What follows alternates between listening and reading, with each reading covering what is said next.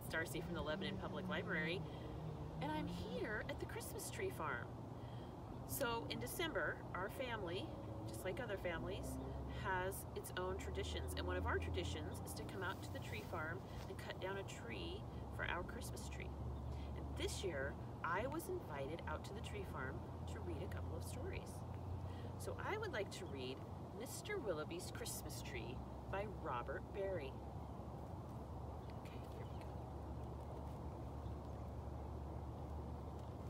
Mr. Willowby's Christmas tree came by special delivery.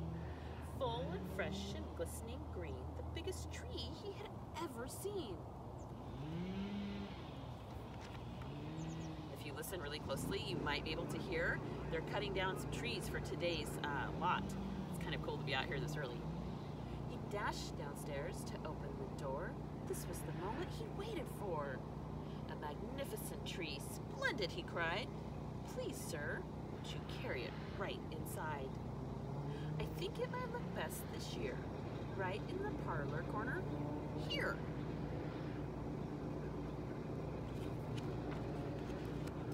But once the tree stood in its place, Mr. Willowby made a terrible face. The tree touched the ceiling, then bent like a bow.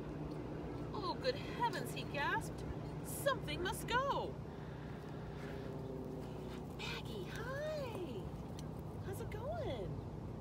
We have a guest at story time. Are you the tree farm dog? Baxter the butler was called on in haste to chop off the top, though it seemed quite a waste. That's great, Mr. Willowby cried with glee. Now we can start to trim my tree.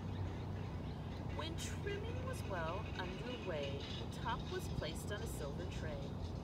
Baxter said, I know just who will be delighted with this Christmas tree.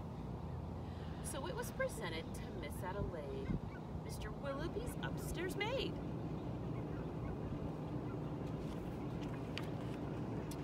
Won't this tree be a pretty sight when I have it trimmed later tonight?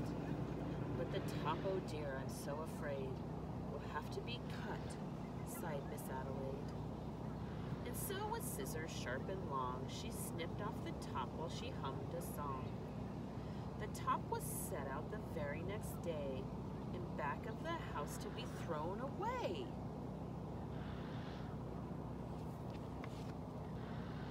That little tree top caught the eye of Tim, the gardener, passing by. He certainly was not about to see that little tree thrown out.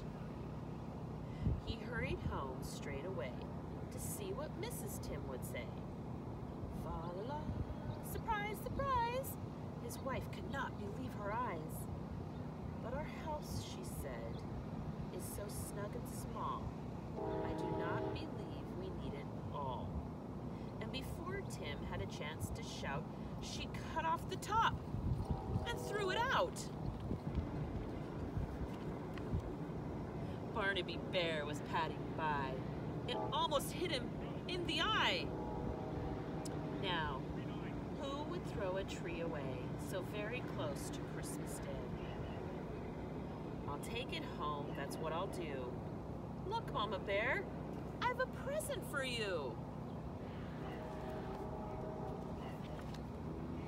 Isn't it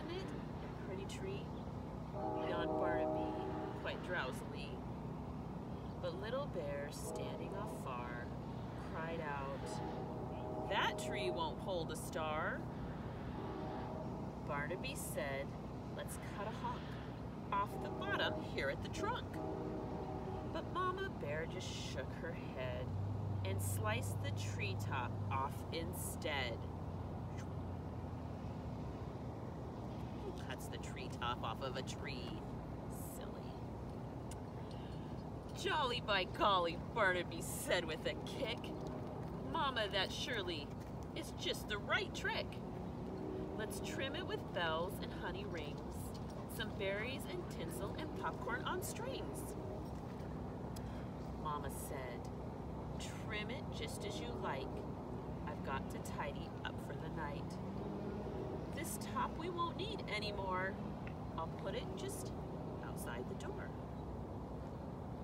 What do you treetop. Later on that frosty night, Frisky Fox came into sight. He spied the treetop, rubbed his chin, opened his sack, and stuffed the top in. He scampered home and jumped his gate. This Christmas present couldn't wait. It's even better than mincemeat pie, said Mrs. Fox with a happy sigh. Then the foxes saw their Christmas prize was a wee bit oversized. There, my dears, don't you worry. I'll fix this top now in a hurry. What's she gonna do?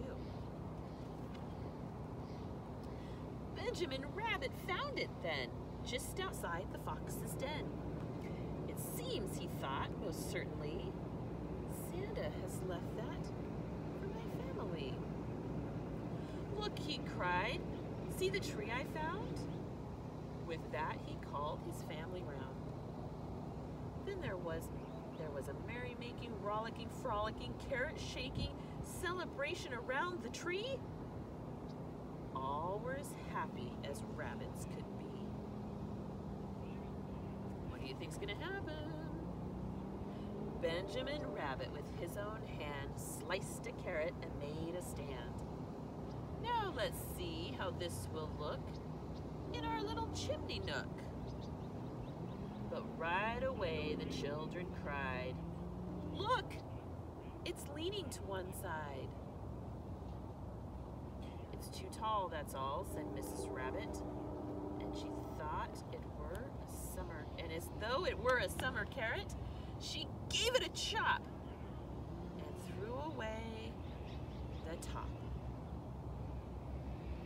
Top of that Christmas tree has gotten smaller and smaller until Mistletoe Mouse happened to see that tiny tip of a Christmas tree.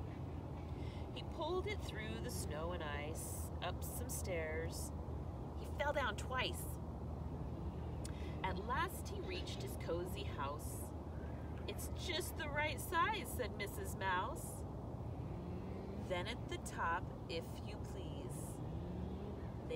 a star made out of cheese.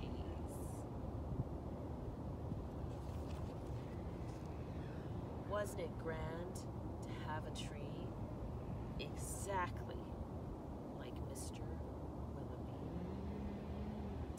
Willowby? Mr. Willowby's Christmas tree. Thank you guys for enjoying er, for joining me out here at the Christmas tree farm on this morning. I'll see you guys really soon. Bye.